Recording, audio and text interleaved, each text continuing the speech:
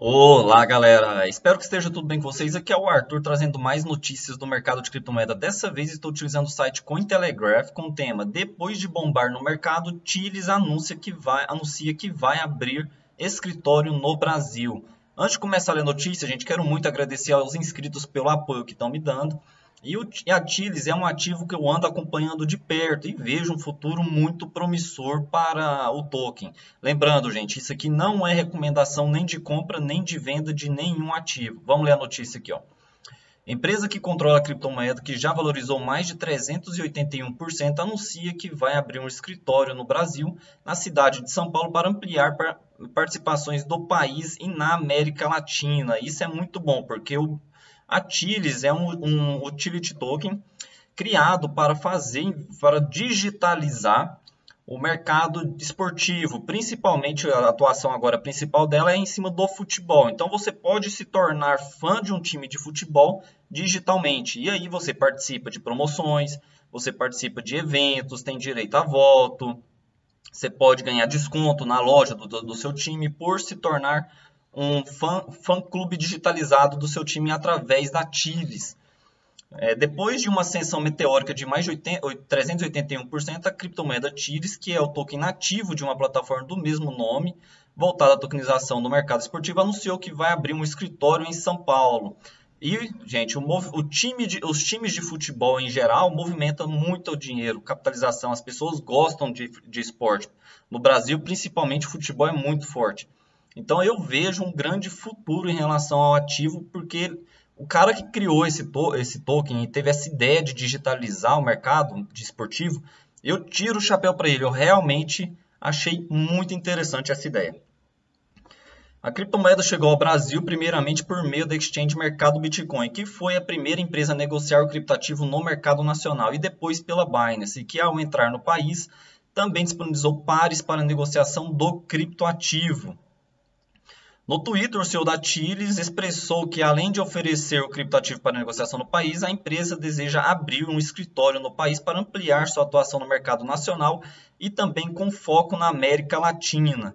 Ainda segundo o CEO, o escritório da empresa deve ser implementado na cidade de São Paulo. Então, isso é muito bom ter uma ter a Tires montando sua sede da América Latina aqui no Brasil, que pode muito ajudar o mercado não só de futebol, como outros é, esportes no Brasil a ser digitalizado.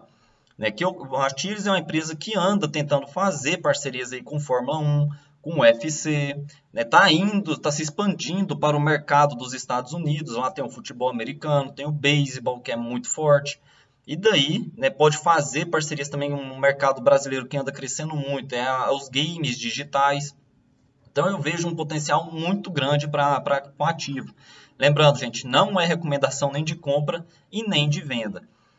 Esta não é a primeira vez que o Alexandre expressa seu desejo de expandir o ecossistema da Tiles no Brasil e na América Latina. Em janeiro deste ano, o CEO já havia dito que o país era prioridade nos planos de expansão da empresa, entre aspas.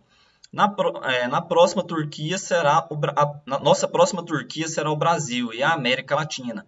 Isso significa que vamos investir alguns milhões de dólares na área. Vimos recentemente que a região tem um apetite significativo pelos sócios.com e pelo ecossistema da Chiles. Então vamos com tudo para expandir de forma significativa no Brasil e na Latam, na América Latina. É, a, a Chiles teve é, uma notícia muito boa em relação aos fan tokens, principalmente dos times da, da Europa, né, que fizeram também a, a, a, sua, a sua.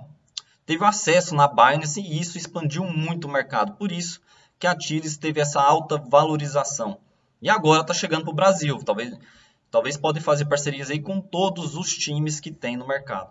Recentemente, o preço da Tiles enfrentou uma contínua onda de valorização no mercado, o que fez a criptomoeda subir mais de 381% nos últimos sete dias, de acordo com os dados do CoinMarketCap. Realmente, a, a anda crescendo muito esse ano, e isso também é um dos fatores que, aconte é, que aconteceu problemas durante as, as transações da Tires. O pessoal estava reclamando que as transações andam caras devido à alta valorização do, do ativo. Realmente as transações ficaram caras. Tem até essa, essa notícia aqui no canal.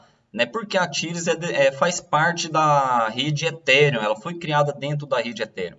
E daí a rede Ethereum tem grandes problemas com as altas taxas das transações e a falta de escalabilidade. Então, devido ao alto crescimento da Tiles, as transações do ativo realmente ficaram muito caras. E eu, eu falei no vídeo também que eu vejo duas situações em que a Tiles pode resolver esse problema.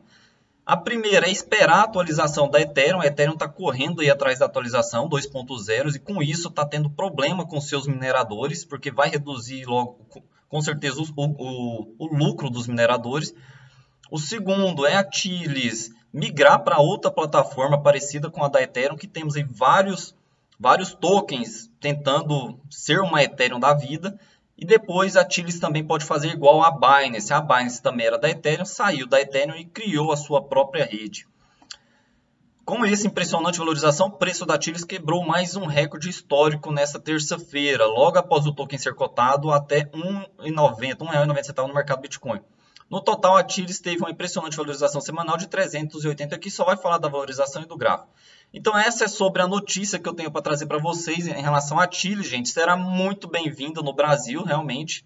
Se ela pretende expandir seu mercado nos Estados Unidos, por que não o Brasil também? Né, o Brasil é um, um país em que as pessoas gostam muito de futebol e, e, e muito a se tornar um país também digitalizado. Né? Devido à pandemia, aí, o governo acelerou então, as, digitalizações do, do CPF das pessoas para receberem dinheiro. Então, acredito que as pessoas estão mais conscientes em relação à digitalização geral do mundo, do mercado, do e-commerce. Então, por que não o Brasil, também como um, parceiro da Tires para desenvolver o projeto? E sabemos que o, o, futebol, que também as pessoas gostam muito de investir em futebol, pagam caro para ir em estágio. E com a Tires aderindo o mercado esportivo, eu espero que ela cresça muito. E vocês, o que, que vocês acham da Tires? É um, é um, um token que eu ando observando de perto. Espero que vocês tenham gostado da notícia. Um abraço e até a próxima.